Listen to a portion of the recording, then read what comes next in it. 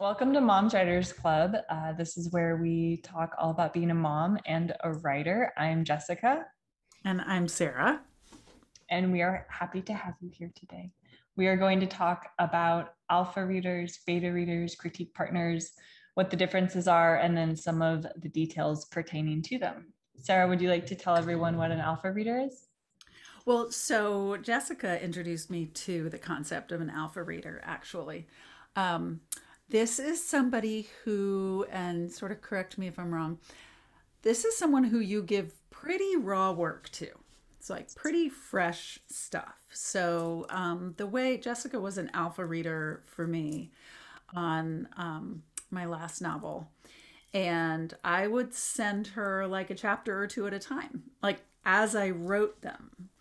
And I wasn't asking for line editing. It wasn't at that point yet. Things were still pretty rough. It was more kind of like, is this thing hanging together? Um, is this going off in some crazy way that doesn't make sense? Um, are you still with me, basically? Yeah. Um, and and it was really useful because it it kind of um, I sort of imagine the story as like this big junky jalopy, like on this dirt road, like it's bouncing all over the place, falling off the back, you know. But like having the alpha reader just kind of keeps it on the road, right? It's not going to go veering off into the woods. Um, I like how you describe that. it's so true. And um, you know, so that was really useful. It was kind of, and there were there were points where she would ask questions like. Um, or she would say things like well this doesn't um i just don't i don't see this character doing this. Like is there something you know about this character that i don't know yet that would you know make this make sense? Or and then that sort of pointed me out to like where i needed to do some character development to kind of justify what was happening to kind of earn it. Um so we went kind of chapter by chapter through the whole book to the end. Yeah. That sounds basically how I would have said it. It's just someone who's reading level stuff, not yeah, like, not editing, not moving commas around. Like that's way way later than the alpha. Like the big stuff, like um, almost like a developmental edit as you go in as some ways, making and sure. To, go ahead. an alpha reader really. I think if if you are going to even try this with somebody, I really think you need that person to be able to turn off their internal um, line editor you know? Yeah. Like they kind of need to understand what level the story's at and not get in not get bogged down in the details. Totally. Yeah. Yeah. Um, i have two alpha readers and and sara's one of them. Um, and i think it's been wonderful. It's something i didn't do for my first several books and i started it with I think with Make Me Disappear, actually, because that's about the time I met um, Jamie. And I was super nervous. So I understand that it's scary to send out really raw work. So for me, it was nice to be doing this with people I really trusted. And, but it's also really fun because every day we send each other a chapter or two, and you kind of get to know that person a little more deeply as a writer and provide consistent feedback. And it kept me from going weird places with my book on multiple occasions. Uh, just hearing, you know, this like like you said, this character would never do that, or this is maybe outside your genre a little bit, that sort of thing. And I have found it to be fantastic. But I would I would not do this with your first book though. Get that first book written. Yeah. Like if you're working on your first book, get to the end first. Yes. I totally yeah.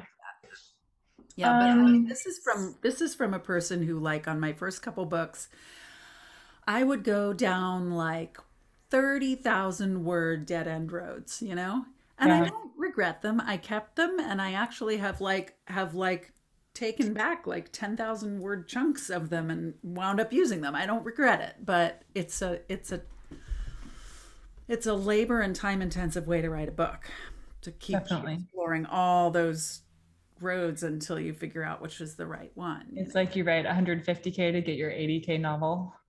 Oh, easily. I, I did that with my first book. 300k to get my 80k novel. That's you a lot. Which is when you're learning how to write, I think it's kind of what it's kind of maybe something you got to do. Like, well, and even now, words taught me to write, but yeah. And even now, sometimes I know a scene is not working and I will write it wrong. Kind of to prove it to myself or to see what didn't work so I figure out where to go.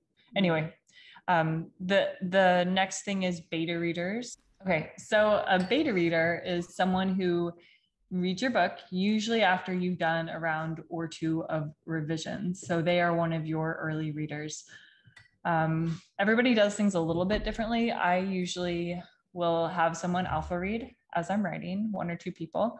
And then I will actually run mine, my book through critique partners first because they do more, we'll get into this, but they do more like developmental stuff for me. And then beta readers are like my test audience, is how oh, I think. Okay, that makes sense. Yeah, yeah. Yeah. They're people who I imagine would pick up my book at a, a bookstore, which is a lovely thought and you know be reading it from front to back and giving me their broad impressions i don't expect in-depth feedback from them so far as like right. chapter like level. is a reader. Yeah they're reading your book. They're not someone who's going you know oh this character arc didn't complete. And they might do that. You know some people look at a book and think things like that without being a writer. That would i guess be the other thing i would say is i have beta readers who are not writers. Yeah. um, and i have some who are but they are just uh, that initial read of your book. It's like when a video game releases a beta version. It is, you know, their test audience. Do you have anything to add to that? I think it's it's tricky to find a really um, good beta reader because you, I mean, writers do make good beta readers. Especially, I've had a couple of um, beta readers um, that I met on Twitter who are writers, but are not people that I know well um, or personally, um, and are not people who I have a regular like critique partner relationship with. Um, and they made really good beta readers because they just read the book, but they're they're writers, so they sort of had enough. Um, they had enough of the language to be able to communicate to me you know, that's nice. thoughts and um, their impressions and and maybe like ideas about solutions here and there but but they were really just reading the book as a reader. Yeah. Sometimes it's tricky with people who are not writers um, who read the book and they're kind of like oh yeah it was good. Yeah. I liked it. You know? And then you're like well what about that part where oh yeah i like that part yeah, that's true too. And you you will find we'll talk about where to find these people at the end, but you'll find people over time. Like I don't think I use any of the beta readers I used on my first couple of yeah. books. And I think it's also useful um, to do a couple things with beta readers. So this is I think is like you were saying with your first book. Um, it's good to just write the thing and get it done and then let some people read it. And then those are your beta readers.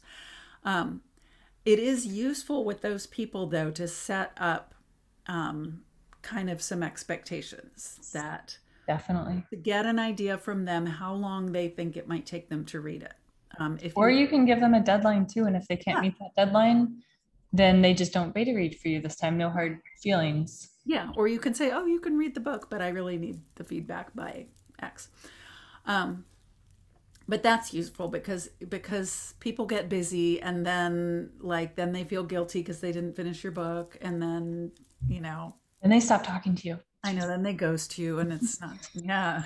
It's like it's really bad. Um, so it's good to set up some time expectations and it's helpful i think for like for beta readers to have a list of questions like you know like your book club questions at the end of a novel you know? Yeah. Um, what did you think about the relationship between this character and that character? Or you know what did you think about what mr so and so you know did at the end when he yeah. found the dog? Um, you can find lists of these questions online by the way. Yeah. Or you can you know you can just take questions that things that you want to know about your own book you know or things that you're not sure of with your story. Yes. Give your give your beta reader a little list of five questions and and then like buy them a nice bottle of wine. Yeah. Yeah, definitely be gracious with these people and thank them and please do not argue with them. They're telling you what they oh, think. So true. It is not your job to like try to convince them otherwise. They're giving you feedback off of how they read it and not you know, not how you meant it but how they read it. Yeah, because um, eventually the dream is that your book is going to wind up in the hands of somebody who has never and will never meet you or talk to you. And they will just read your book and you won't be there to like explain why yeah. X, Y, and Z happened. So your beta readers are, are giving you a gift by um, by pointing stuff out. Yeah.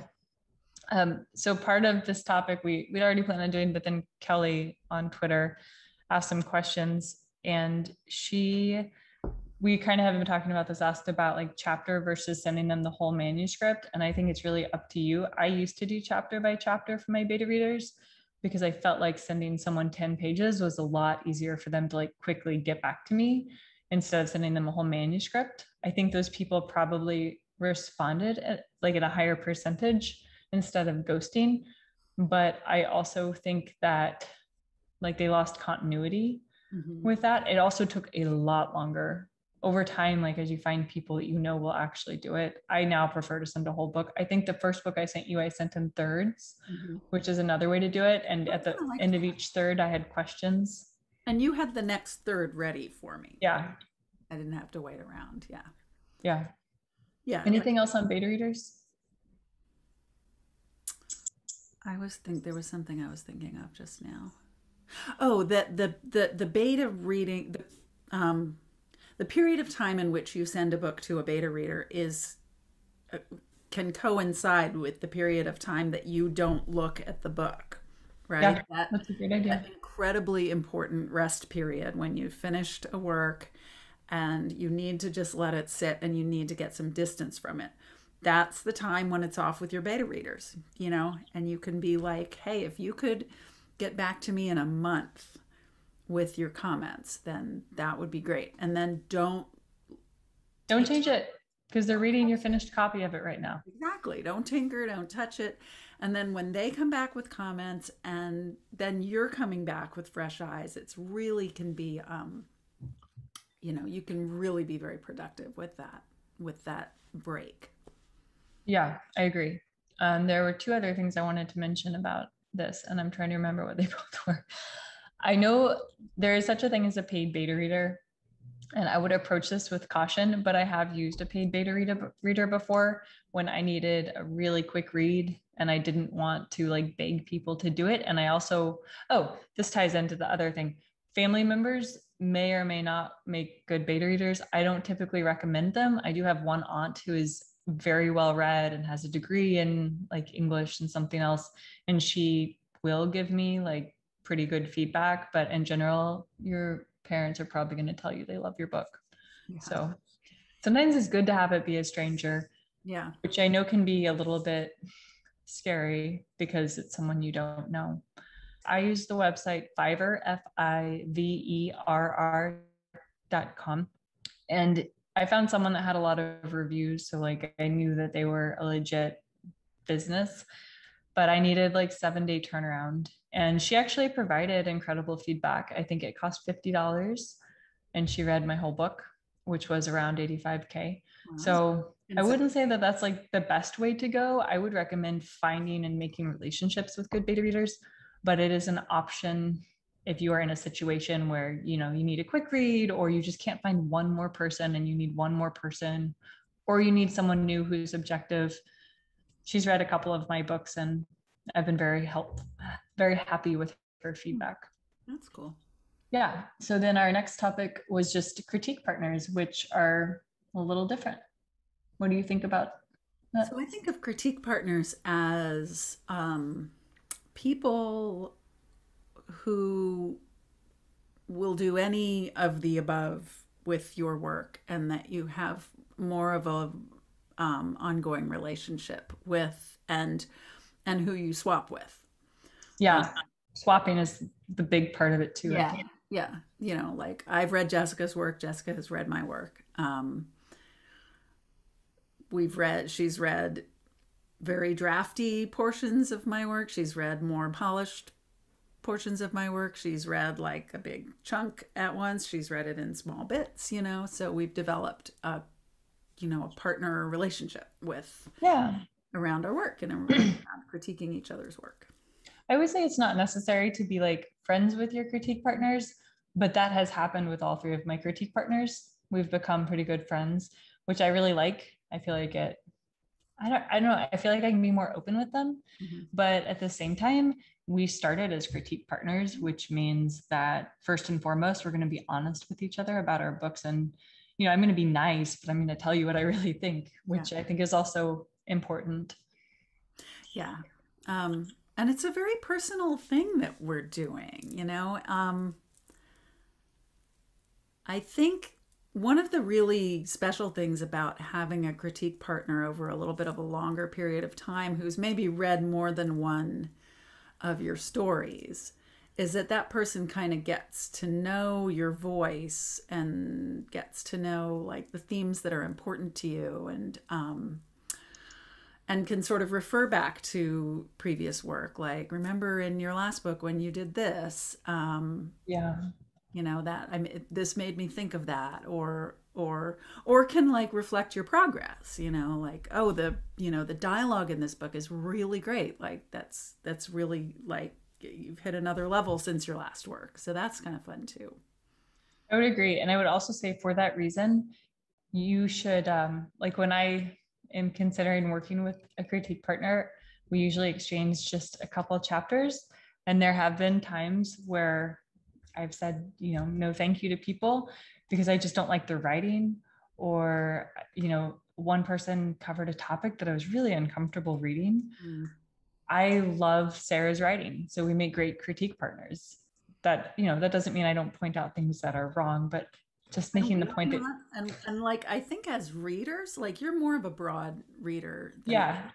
I write thriller, but I read everything. I was not really a thriller reader. Like yeah. I but mean, you're so good about like the personal relationships and like the um like story arc and character like you are such a good reader and writer in general though that you pick up on things differently than like my thriller critique partner. yeah yeah so it's good to have um like critique partners in your genre and outside of your genre you know yeah, but definitely have at least one or two in your genre a, a variety of voices is is always good but you Sara. cannot be trying to please all of them or you will make yeah. it crazy. At some point you just gotta like you gotta be like, I'm the boss of this story, you know? So where do you find these um these creatures? Well, that's a fun question. I it was it was hard to find them. It took me a couple well, a year probably to really find good critique partners who I now hope to like go my career with. Mm-hmm. I would say Twitter has been a big place for me, which I wouldn't have guessed I would ever say that because when I first got on Twitter, I had like zero followers and no one interacted with me. And it just, people say it takes time, you know, get involved, get to know people. And it's very true. Mm-hmm. Find a club, whether it's Mom's Writers Club or 5 a.m. Writers Club or whoever, whatever, and talk to people and comment on their stuff and kind of get to know them and and not only will you make friends that way but when it gets to the point where you're sharing your work with someone you'll feel better about it because it is a little scary to send your work out to someone you don't know. And for that reason i would also suggest sending just a chapter or two to start with and uh, see if you like the feedback they give you if you yeah. find it helpful. Yeah. What about you? So twitter where else? Um well, when we're back to doing things actually in person, um, there's a. I took several in-person workshops, writing workshops at a at a little nonprofit organization here, and, and I just met people in class. Yeah, it's a great place. Um, actual human beings, face to face.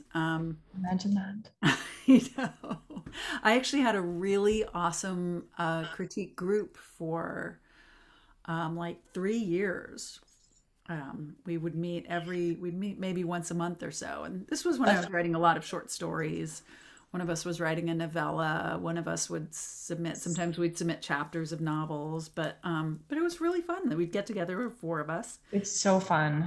And all four of us would read you know two people's writing and we would talk about it. It was like a little yeah. workshop. It was totally great. And then and then one guy got a got a postdoc fellowship at, at oxford and wow. molecular biology. And so he left us and then it kind of fell i would definitely look into local writing groups i was a member of the I'm going to say the letters in the wrong order, SCWBI, which is like children's. Mm. Um, but they were so nice. They accepted me. I only write adult, but they accepted me. And um, so Annie and I already knew each other, but that's kind of where we met again. And she's one of my critique partners.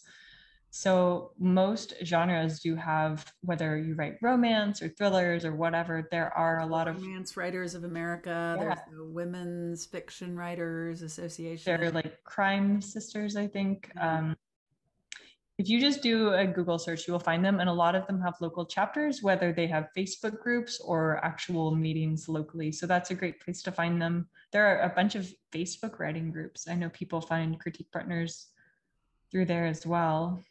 I'm trying to think if there's anywhere else. Uh, the big thing to me is just ask. Like, yeah. you're not gonna you're not going to find anybody if you don't ask. And you can just put it out there and and field whatever responses you get you know? Yeah put it on twitter. And then um, we mentioned this in another episode but on moms writers club we do critique partner matches. We've done two. I'm sure we'll do another one soon. And we just do them as part of our wednesday night chats and i know people have found people to work with through there and made friendships through there as well i was going to see if kelly had any other questions in there okay. she also asked about editors I have mixed opinions. I don't think you need to hire an editor, and I definitely wouldn't do it right off the bat. If you want to and you have the money to, a good one will be a good amount of money. And if they're not a good amount of money, I would be a bit cautious um, because anybody can call themselves an editor, just like anyone can call themselves an agent. But I mean, you certainly can use an editor, but make sure you've done a few rounds of revisions yourself so that you're getting the most out of it and I guess kind of know what you're looking for going into it. I did have an editor look at my second book primarily because I felt like I was doing something wrong and I couldn't figure out what it was. And my beta readers weren't really helping me. They were trying to, they were great, but I wasn't. And how did it work with the editor? Did, did it, did it get, did you get what you were looking for? I think so. So I actually asked an author I knew who was published if she would recommend someone and she had a couple of recommendations and i went on their websites and looked around to see who they had worked with and they were legit editors it was pretty expensive i think for 50 pages i mean by expensive i mean they work hard and they they deserve to make this money yeah. but it's still a good amount of money because they're working hard on your book i found it helpful because i was still a very new writer and i was struggling to set up my character and my plot in a way that kind of fits into the mold that at least we as Americans follow. And she gave me some tips for that. And once she pointed out what I was doing wrong, it's carried forward into my other books. But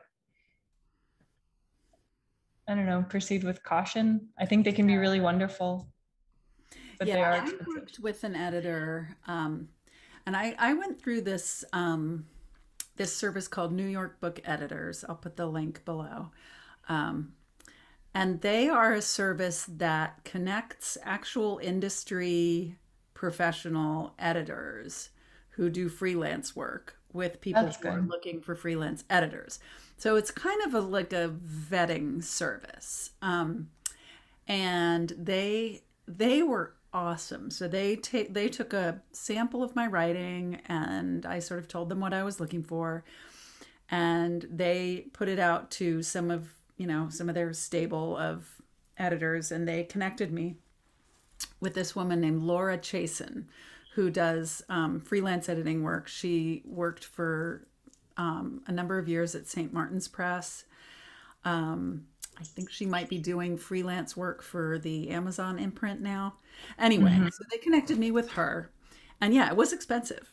Um, and I deliberately went into it. Um, and I and I talked to her up front before she read the book. I talked with her on a on a Zoom call for like you know forty five minutes about where I'm at in my career, what I'm looking for. And I very specifically was like, you know, yes, I'd love to get this book published. Yes, I do want to polish it up and make it awesome, but really, I want to learn how to write. And I'm not going to get an MFA. And my and the local writers workshops are short story oriented. Um, and it felt to me like, you know, at the time I was looking at like, could I take a college class? I mean, what else can I do? To learn how to write. I think that's Um, a great way to approach it. That you wanted to learn to write better, because this- I would say that's what I got out of it too. Yeah. And that is exactly what I went into it um, wanting. I was like, I can spend a certain amount of money, like on a class or a workshop or whatever, or on this, you know? And, um, and I told her that. And um, I base, I was so, so happy with that experience. I mean, I basically got like a one on one class on my novel That's fantastic.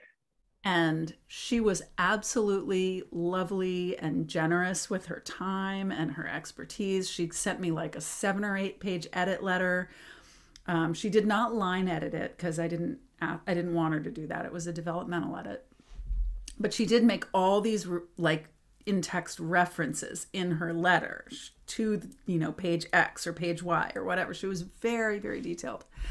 And I just feel like, God, I got this like amazing professional tutorial on my book.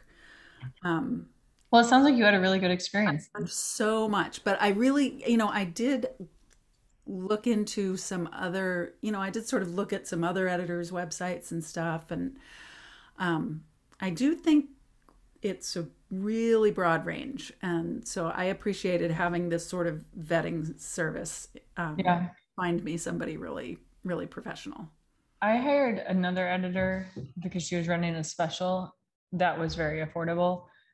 And that experience was not good. And that's why I say to be cautious and know what you're getting and know where they've worked and what they've done. This editor promised me a full developmental edit of, I yeah, I think the full manuscript. And she gave me less than the $50 beta reader.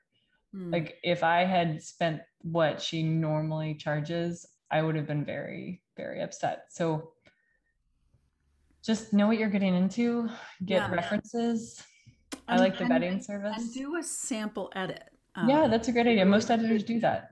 Yeah, they really should offer you a sample edit, and that was part of the process that that I went through. You know, she edited like the first five pages and gave me some feedback. You know, which probably didn't take her very long, and and I think I, I think I paid for it. I think I paid like thirty five dollars. Okay. I've seen a lot of them offer it for free. for that piece. Some people will offer it for free. Um, but and then I got a sense and and I'd had actually another editor look at this same piece of work and I had done the same thing to get a sample edit back. And it was amazing how different they were. Yeah. Um, like completely different. The things that you know one editor loved, the other editor was like, mm, I don't know about this. And I, you know, wound up going with the one who I felt like got my voice and Yeah. you know sort of got where I was coming from and it wasn't was uh I was like with the one I was thinking, you know, god if I take all that stuff out I don't sound like myself. Yeah. You know. And Interesting. Yeah, I'm glad you had a good experience like that. That sounds really lovely. yeah, it was awesome. I mean like I still I you know when I got when I got um when I signed with Laura Bradford I sent Laura Chasen an email. I was like, oh my god, that's awesome. happened." yeah.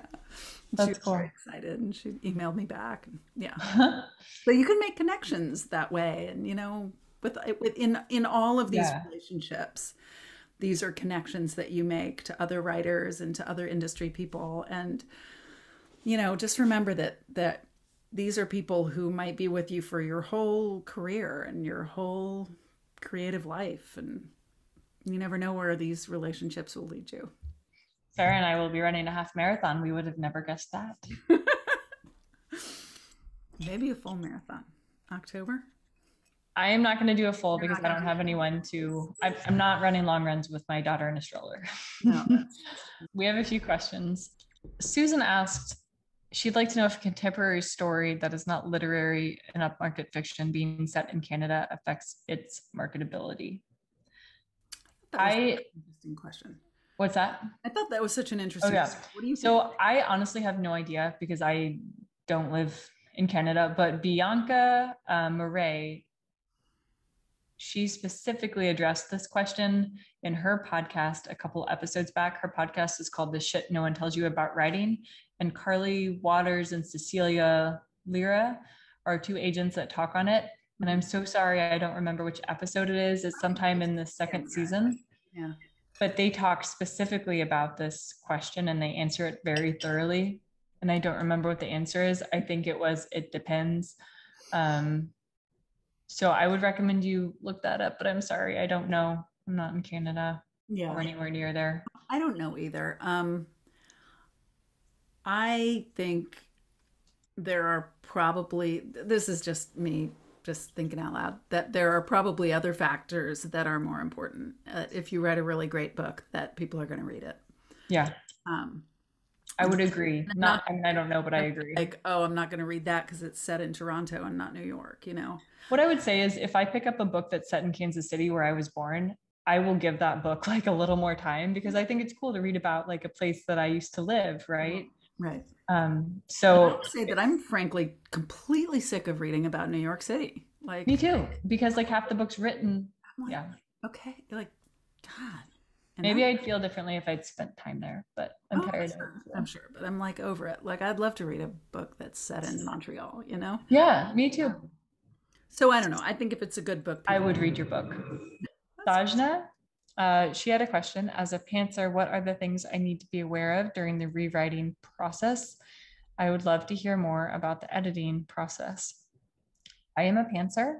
I would say that, I mean, writing is rewriting. Know that you may have to completely rewrite scenes.